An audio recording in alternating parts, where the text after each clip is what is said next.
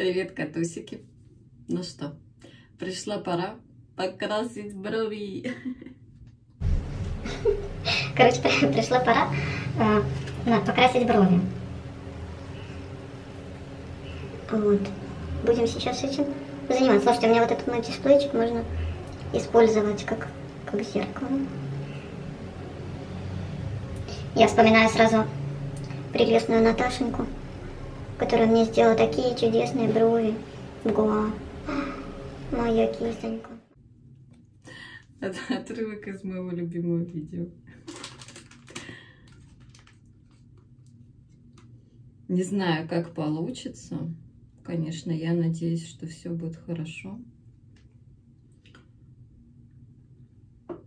Не очень ярко. Может, ресницы покрасить? Что думаете?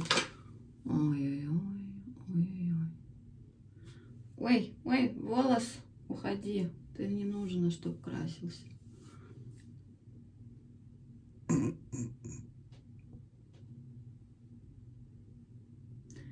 Чернобровая буду я.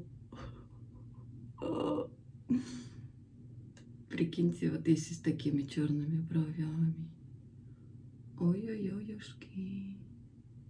Ну, что-то вот мне захотелось. Я знаете, что мне еще захотелось? О,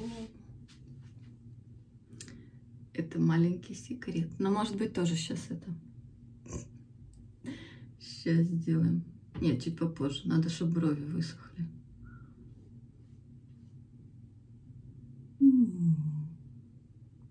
Как зеркало. Можно в камеру смотреться.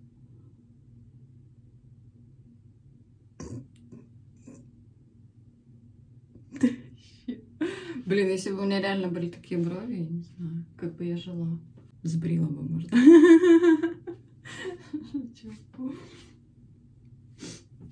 Но у меня там еще пудровые, получается, бровки же. Все равно бы что-то было видно.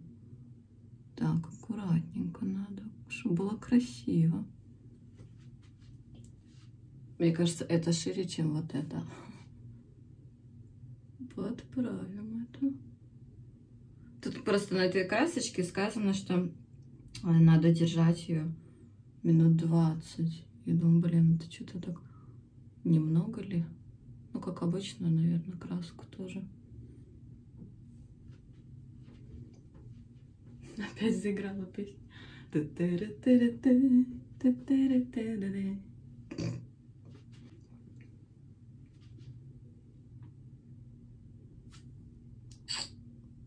Уля-ля, уля-ля. Ну и что, реснички давайте тоже. Нехай будет.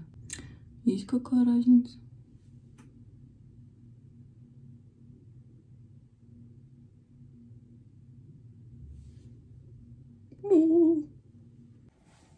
Я такое ощущение, похоже на птичку Angry Birds.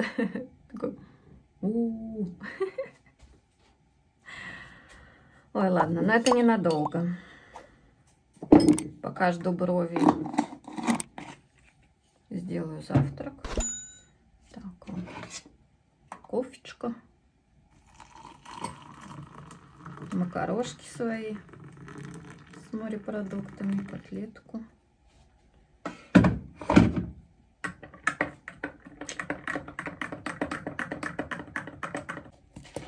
Пропало молоко, представляете, без лактозы. И опять полезли прыщи. Интересно, в Индии будет молоко без лактозы или нет? Я вот не помню. Ну, посмотрим, поищем. Ну, ваше здоровечко. Я сегодня, кстати, наконец-то спала хорошо.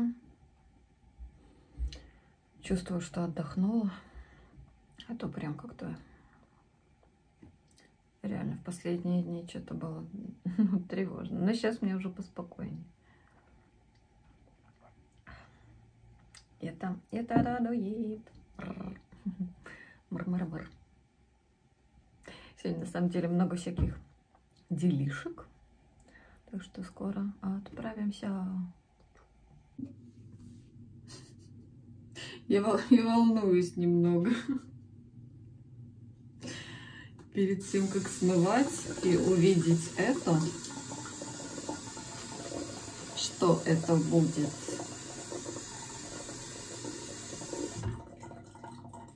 Так, я думаю, что ну, водой нормально. Это типа краска без аммиака, ТРП. Ой-ой-ой.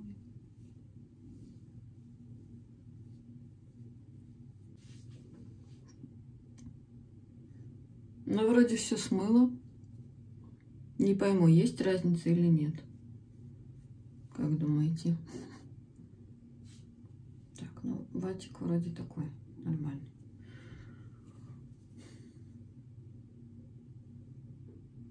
Надо посмотреть видео, какая я там. Ну-ка, на свет. Непонятно. Это, кстати, тоже прыщи, бляха, на брови вылез. Но может что-то изменилось, я, вот, я пока не могу понять. Ладно, посмотрим, как оно там это. Ну, вроде видно. Главное, чтобы было видно брови есть. А то реально, я говорю, я смотрела какие-то свои вот из старых видео, там, где я еще не красила брови. Вообще ничего не видно, как будто я без бровей на камере. Ну, они-то были, но как будто бы и не было. И это было как-то стрёмно. Чем бы детятка не тешилась, как говорится, да? Да. Не, ну вроде ничего так. Может еще проявится. Ой. Соня с нами, кушаю.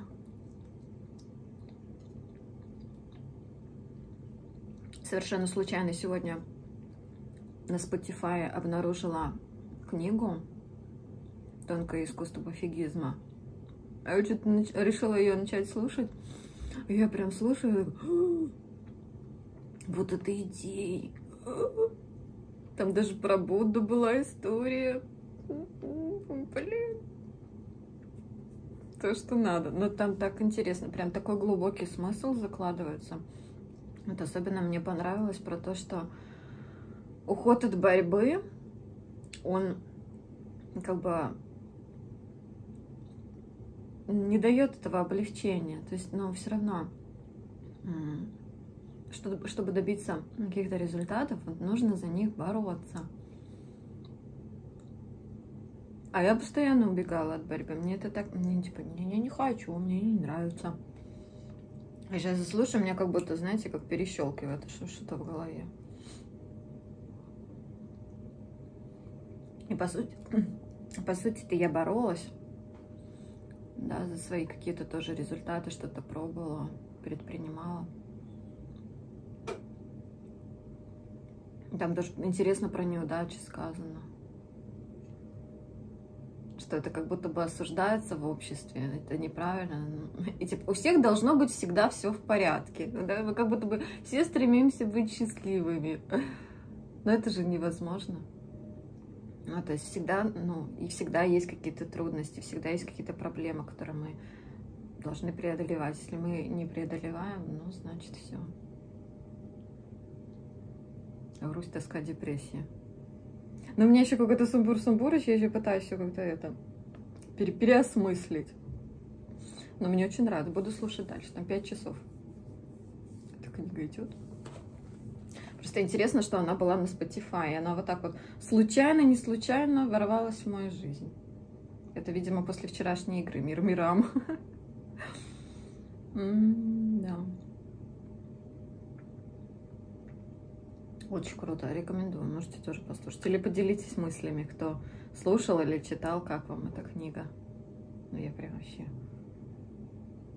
А еще так забавно автор пишет, ну, ну и там читают, получается. Реально интересно.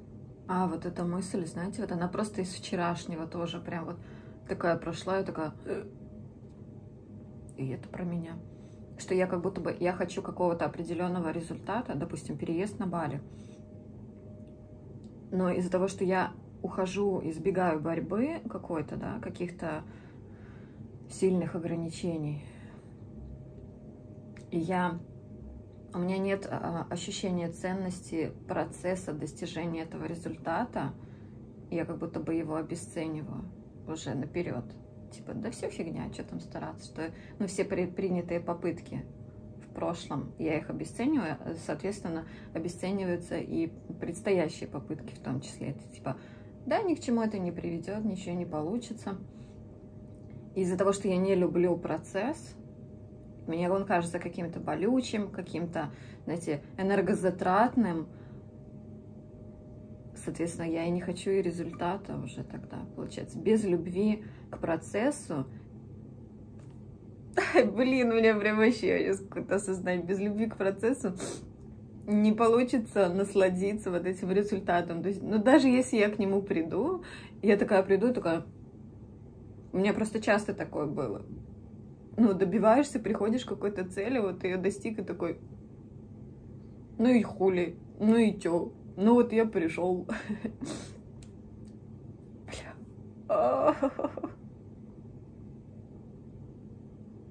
Это прям вообще, блин.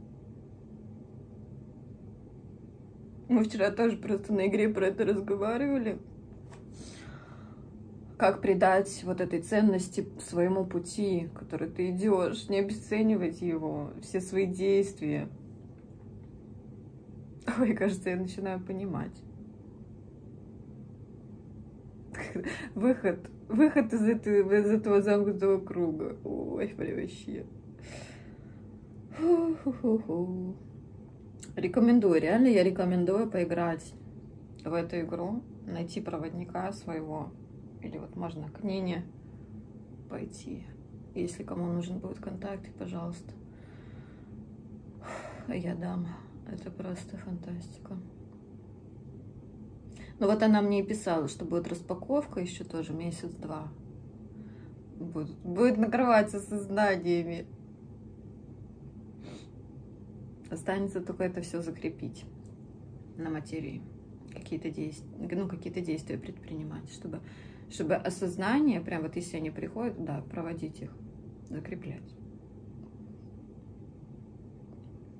Делюсь с вами, дорогие мои, что тут происходит, ну это вообще что-то, что-то очень интересное. Может, кому-то что-то непонятно?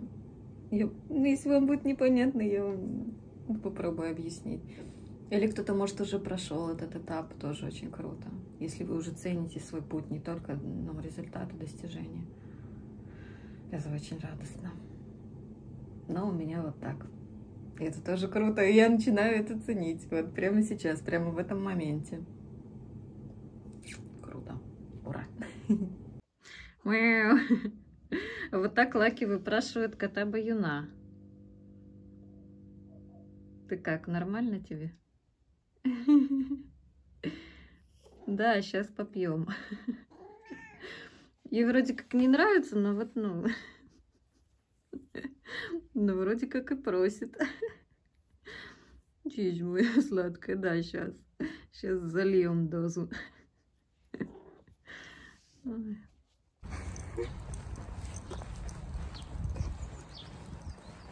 Что, кто там хотел, чтобы я это в новую курточку приоделась?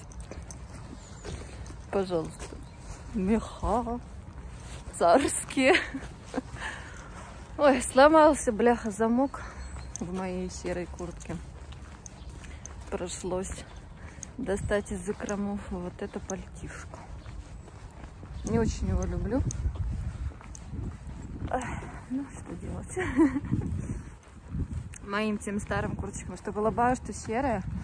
Они мне такие старые. Я сейчас подумала, когда я их там покупала лет 10, наверное, назад. Эта пальтишка помоложе будет. Но я думала, я в него не влезу. Думала, он будет маленький. Ну, вроде нормально, со свитером. Хорошо. Сегодня у нас уже минус 3. Снега как и не было, так и нет. Ну, что ж ты будешь делать? Я просто те курточки люблю, ну, серую, по крайней мере, Люблю больше, потому что она такая, знаете, свободненькая. Не сковывает движение. А это прям такая ну, плотненькая, скажем так. Ну, да ладно, мне тут пару дней только походить. Уже потом приеду. Разберусь там с этим замком. И с прочим. Я вот думаю, брать мне что-то, не брать из теплых вещей в Индию. Мы, мы-то вроде в тепло поедем. Но мало ли, какие-нибудь горы там занесет. А в горах-то, знаете, прохладненько. Я помню, когда а, с Бали возвращались через Дели, в каком месте? В феврале, по-моему.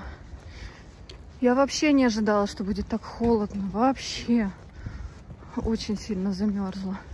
При том, что я была, ну, у меня байка была, по-моему, жилетка моя теплая, я там укуталась как могла. Такой цуцик прям вообще. И в самом Дели было холодно, и в поезде, пока мы там где-то, может, до середины где-то не доехали. А как мы ехали? Куда мы ехали? А, мы с Дели ехали в Гуа как раз-таки. Фу ты, ну ты. Было, конечно, да. Бр. И вот так вот, оказывается, и бывает. Я сейчас пока вся в раздумьях. Я там, при том, что я кое-что повыкидывала, там байку свою вот эту вот лососевую. Я же потом все хватит. Мне так надоело уже. Тоже она старая, там лет 10. Хочется что-то новенькое. Так глаза замусолила. Но она классная. Видно, видно, что это вещь фирменная, потому что за 10 лет, вот она только недавно, у нее какая-то дырка на рукаве. И то я, наверное, где-то зацепилась, что дырка это появилась на, лок на локте. На локте, на локте. Ой. А вот эти вот манжетики, вообще с ними ничего не стало. Очень крутой материал. Конверс. Фантастика. Если где-то встречу, я еще себе конверсы куплю. Маечка моя тоже вот черная, в которой я хожу, тоже чуть-чуть только дырочка там появилась. И все. Ткань классная. Качество. Что это, американское какое? Не, ну шьют-то может где-то в Китае, но все равно. Где-то же они ткань-то эту берут. Как-то же они ее делают, производят. И потом ее можно носить так долго. У меня не все так вещи носятся. Некоторые, ну прям, поносил пару лет и все. И до свидания. Ну, я, ну, я вроде аккуратно ношу. У меня есть такие, знаете, вещи. Вот купил и, и влюбился. И носишь, и носишь, пока, пока не сносишь. Я не могу сказать про себя, что я прям этот, но страдаю сильно каким-то вещизмом, шапоголизмом. Мне все же прям вещь нравится, то да, буду только ей в ней ходить. Ось такой вот я консерватор трохи в одежде. Но новенько тоже люблю. Люблю. Пойдем новым путем. Вроде ветра нет, хорошо.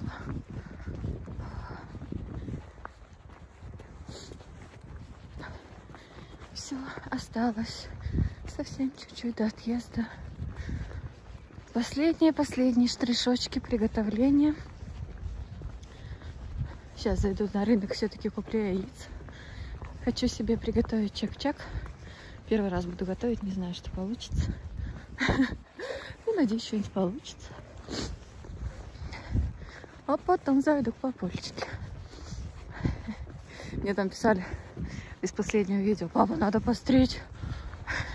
Я в целом согласна. Но я не могу навязывать папе ни свое мнение, ни чужое. Но он мне сам попросил, говорит, я хочу, чтобы ты меня постригла. Вот. Раз папа хочет, значит, что-то можно с этим сделать. Без папиного желания.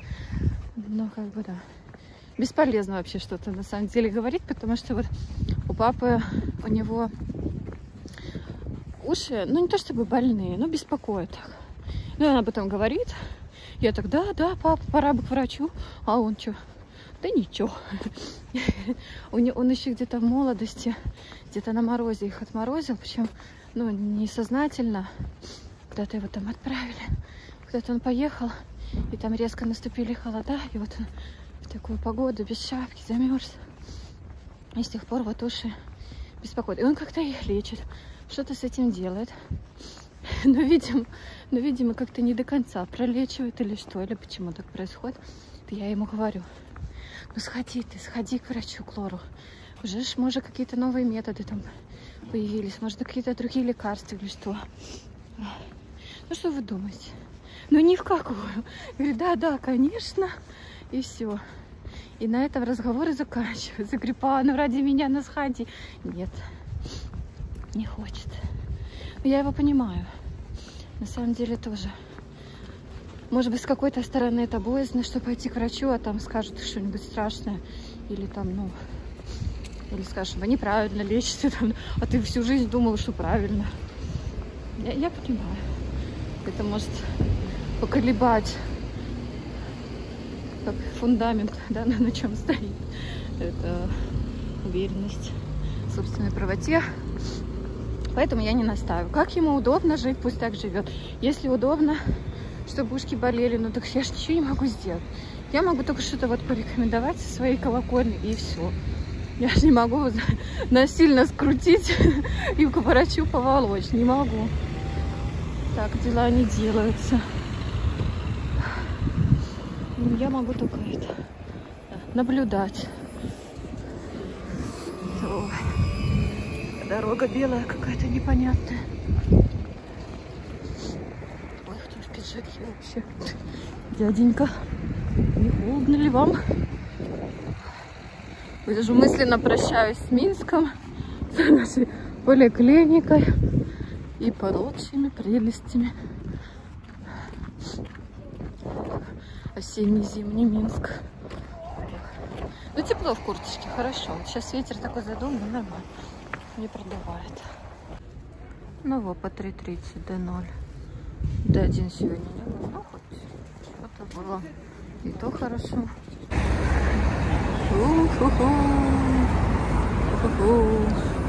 Дела все не заканчиваются.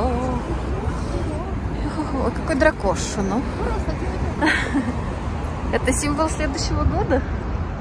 Я немножко потерялась. Наверное. А это что получается? Да. После года дракона будет мой год. Год змеи. Класс.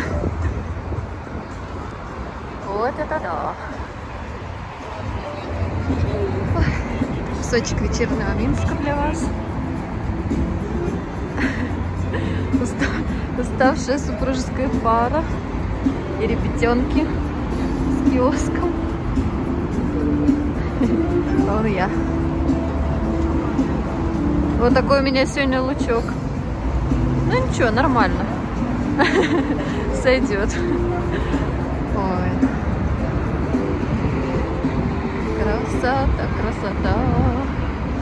Город живет своей жизнью. Интересные витрины. Зум наш. Я не знаю, он, наверное, конечно, не такой, как в Москве. Ну, по крайней мере, я не припомню, чтобы там были какие-то супер модные бутики. Бутики. Бутики. Я не помню, как правильно произносить, но не бутики. Как-то по-другому. Ну, это бог с ним. Вот как. Уху! Я все пытаюсь осознать, что скоро я попрощаюсь. Помашу ручкой Минску.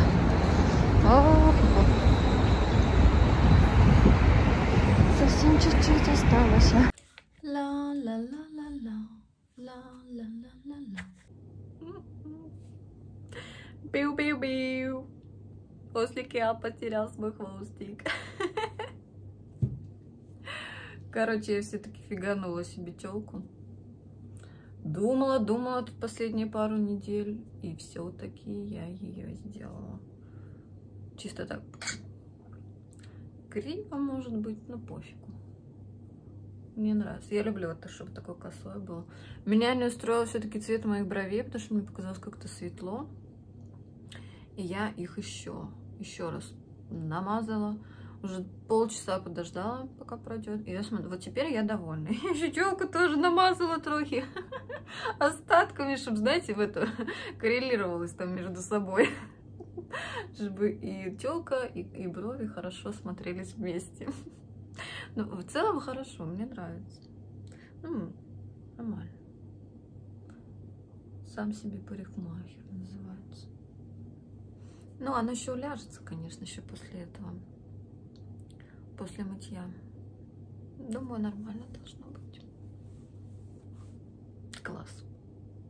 Дома естественный цвет волос. Как там было? Блондинка крашена или курица крашена? Как там было в этом фильме? А, там, короче, сучка-то крашена. Точно.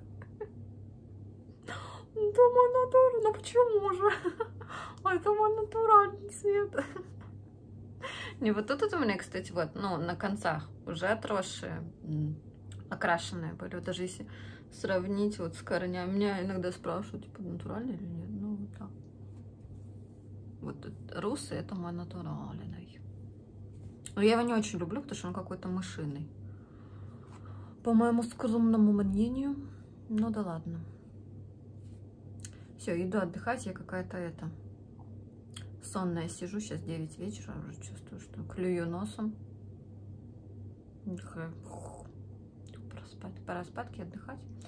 Набираться сил. Завтра уже, наверное, начну собирать чемодан. Наконец-то, наконец-то. Или послезавтра. Когда у меня там время будет? Опять, у меня опять какие-то разъезды. Туда-сюда что-то надо все еще делать.